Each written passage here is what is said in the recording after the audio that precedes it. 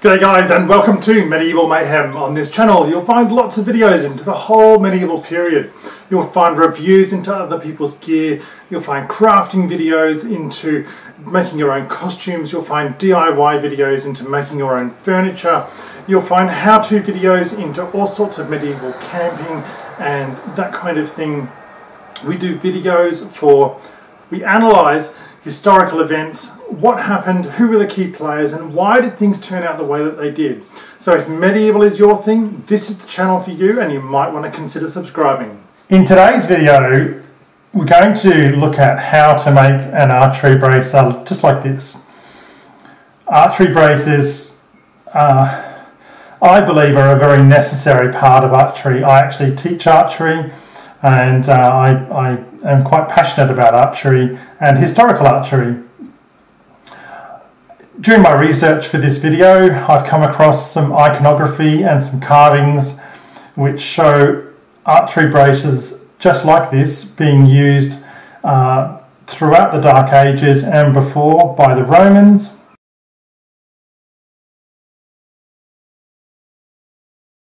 and also in this case uh, by what we think are the Normans on the Bayeux Tapestry.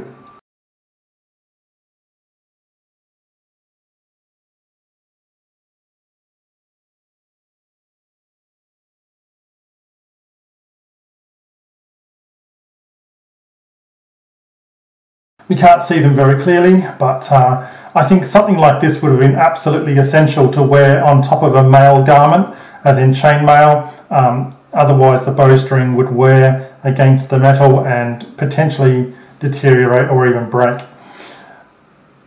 So, we have iconography of, of something like this, and it, something like this makes a whole lot of sense to me. I'm unaware of any actual archaeological finds for an archery bracer as such, although we do have archaeological finds for uh, a leather quiver.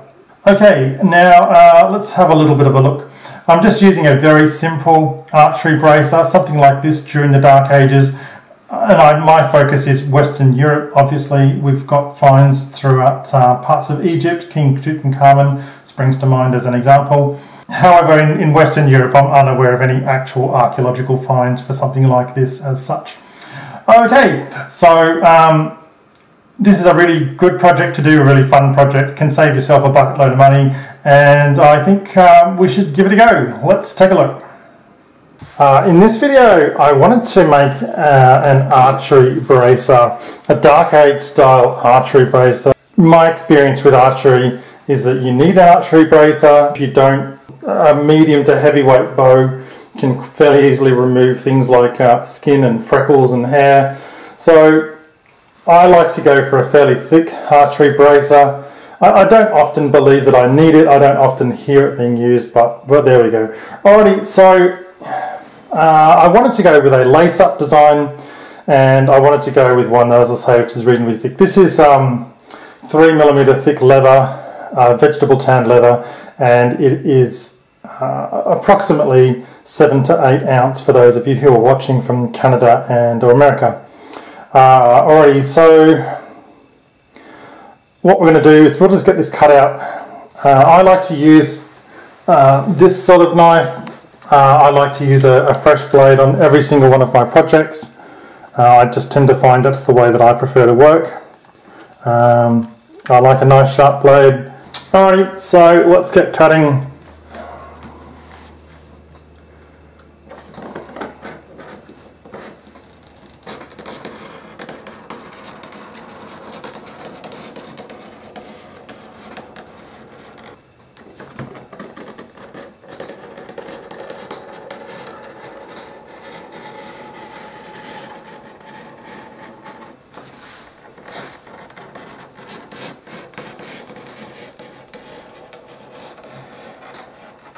So the next thing we're going to do uh, is we're just going to use what they call an edge beveler and we're just going to take down the edge. This just gives you a really nice finish. This is just one of those kind of one of things that really does bring out your, uh, your projects.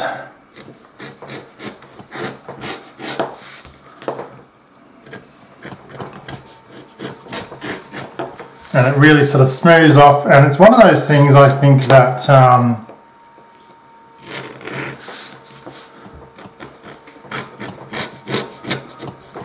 really sort of demonstrates people who have a bit of care and passion for their work. You might want to do it on both sides.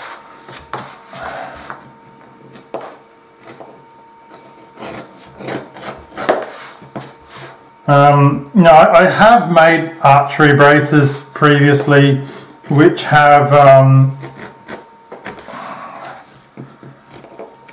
a second layer to them so you can use a thinner leather maybe just like a one and a half millimeter leather or something on the other side and you can glue that just with simple PVA glue.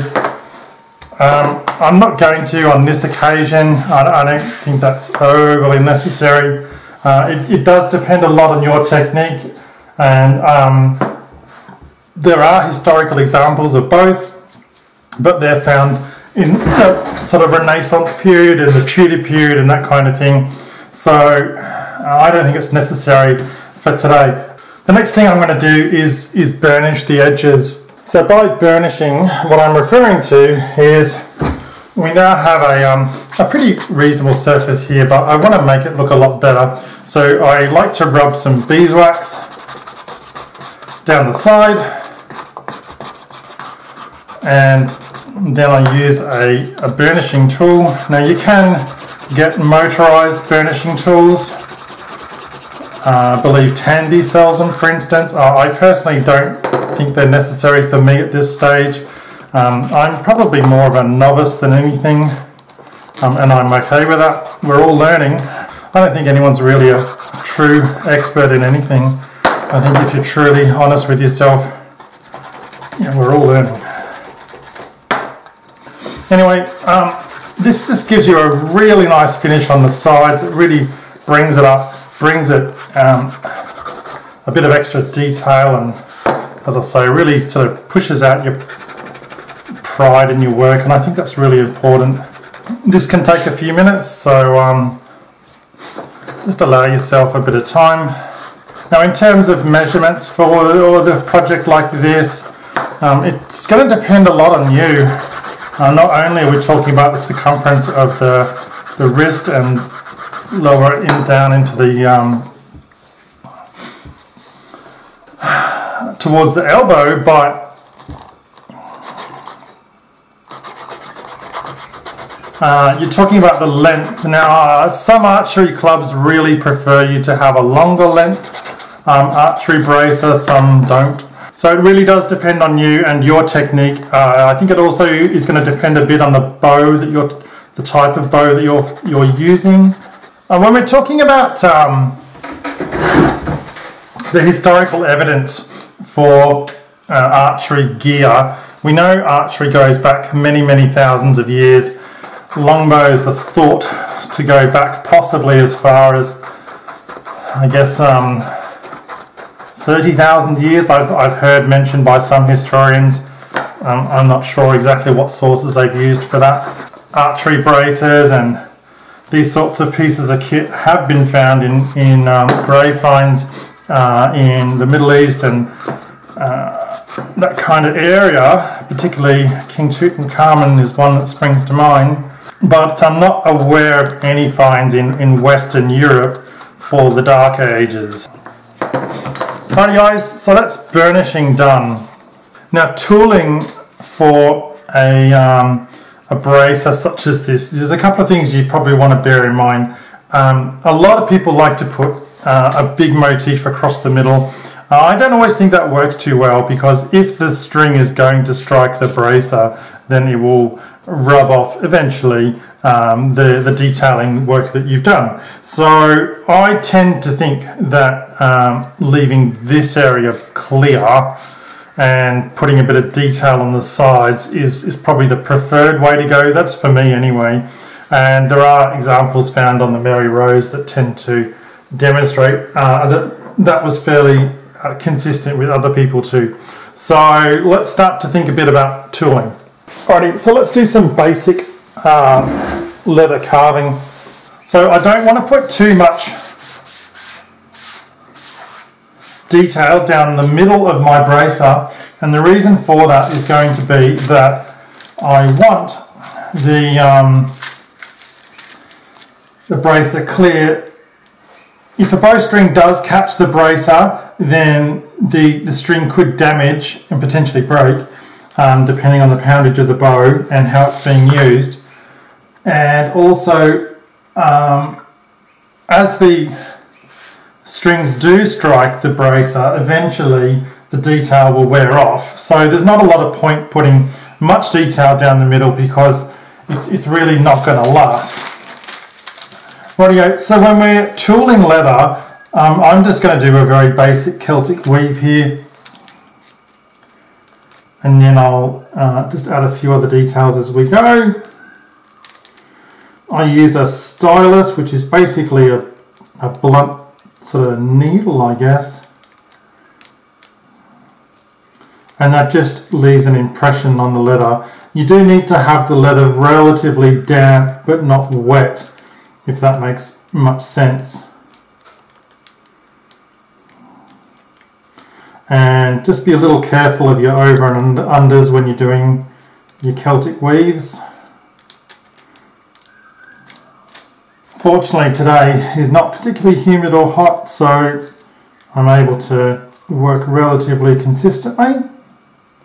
I live in Brisbane, Australia so I tend to find that um, I have to keep wetting the leather down to uh, to keep it consistent and then I tend to find that means the detailing doesn't always come out as well as I would like.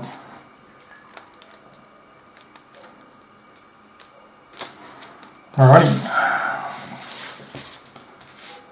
Now I'll do the same on the other side. You should be able to see the leather absorbing the moisture there fairly readily. As it's a fairly thick bracer, I just want to make sure that's not wet, as I said, but damp. Okay, perfect. And just line it up.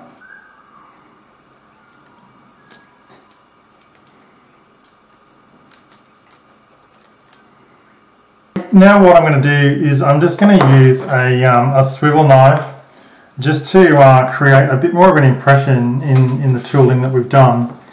As I said, I'm not uh, any kind of like massive expert in this. Um, some people do it way better than I do.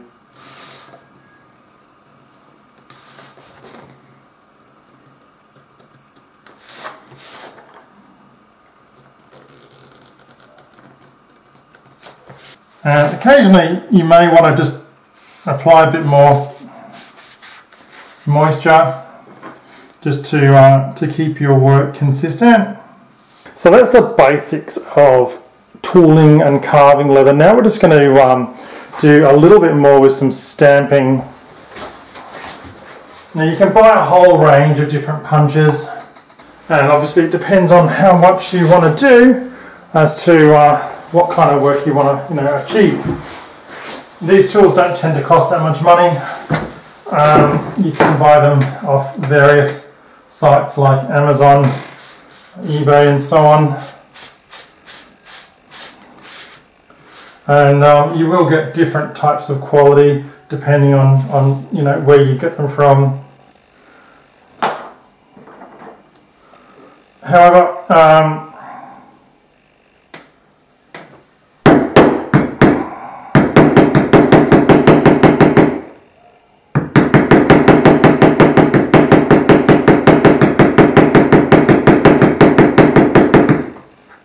Um, but the effect can be quite impressive.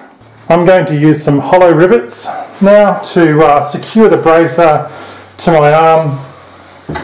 As you can see in the iconography, uh, these would have been worn over armour most likely or um, if the user was not wearing armour as is probably most common then um, they simply would have been worn on top of a padded jacket or just on top of the tunic, depending on the situation.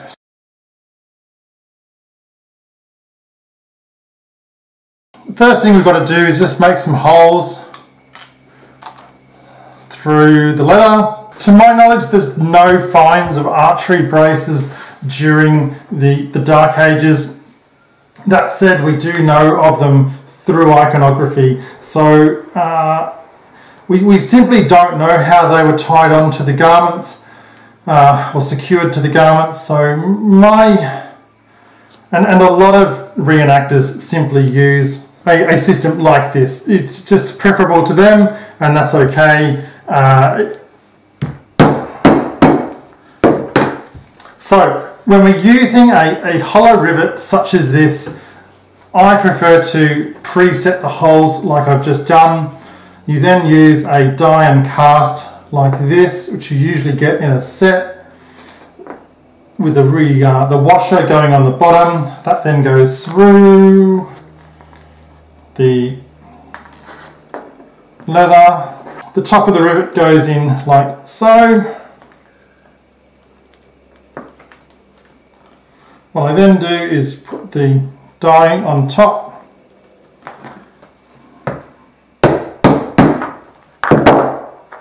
And just slowly tap that through the leather Once I'm satisfied I've got it roughly in position,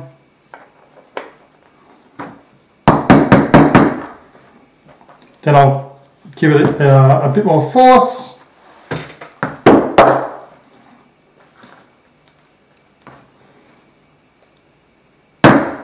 Alright, there we go. Nice flush rivet. It's important to make sure, obviously, you're going to get one that's going to suit the, um, the application in other words, make sure it's thick enough for the leather that you're trying to get through. Okay, so when it comes to dyeing leather, there's a few fairly important tips to follow. Okay, the first thing I like to try and do is I like to wet the leather down because it's going to give you a nice consistent even finish. So there we go, rightio. Um, I'm going to use a Maclace dark brown dye.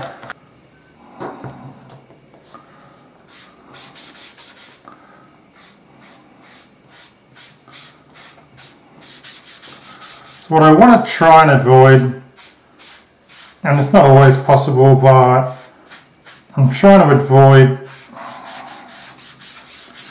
too much of the streaking that you sometimes get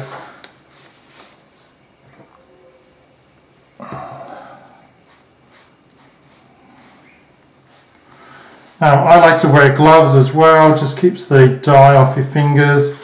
That's no big deal because it will wash out, but sometimes it can take a day or two uh, and that can look a little bit weird.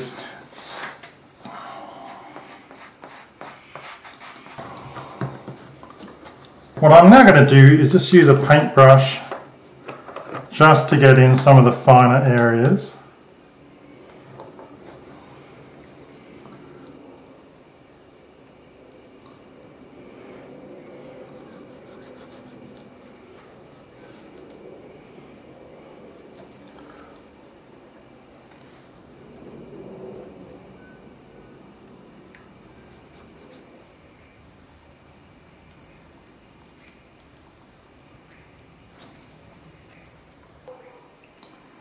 You can apply multiple coats of dye, just depends on the effect you're looking to get and also I guess the brand and the colour that you're using.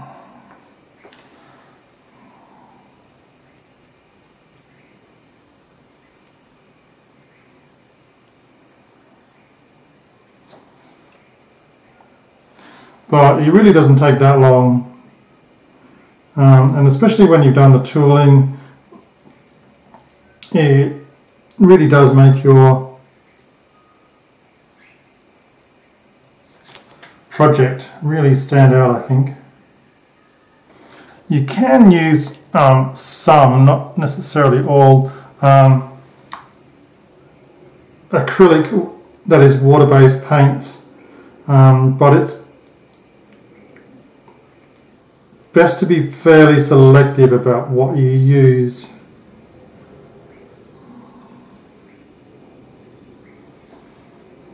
I usually let that dry for a little while. Now I'm just going to add a product called Antique. This is uh, Fiebing's medium brown antique finish. It actually comes up quite dark and it is really good at like lifting out and popping out the detail that you've put into your work. It comes out with a consistency like uh, what Australians might refer to as Vegemite or the English might refer to as Marmite. Um, and there we go. All right, so again, I use gloves and a, just a cloth and then just rub that in. Use a fair bit, but don't, don't go crazy with it.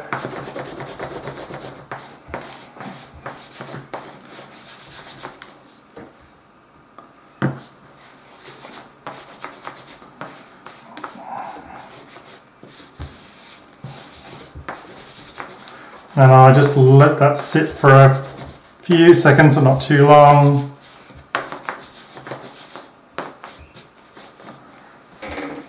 And then I'll just go over and wipe the remainder off.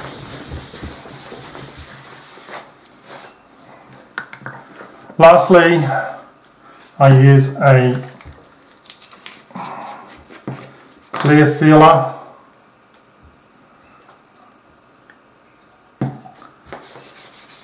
Now this will um, help protect your leatherwork from UV light, water, that kind of stuff, bit of rain, no big deal. And there we go. That is now complete. Alrighty guys, um, thanks so much for watching. Please like, subscribe and share. And I'll catch you in my next video.